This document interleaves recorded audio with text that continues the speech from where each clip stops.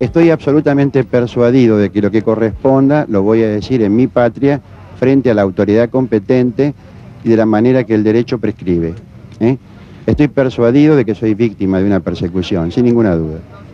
Yo creo que eh, mm, puede llegar a endilgárseme el homicidio de Gardel o cualquier otra cosa por el estilo. Entiendo que el deporte nacional de Péguele a Trovato se ha convertido en un hit y desde luego me parece eh, interesante y divertido para algunas personas, no ciertamente para mí.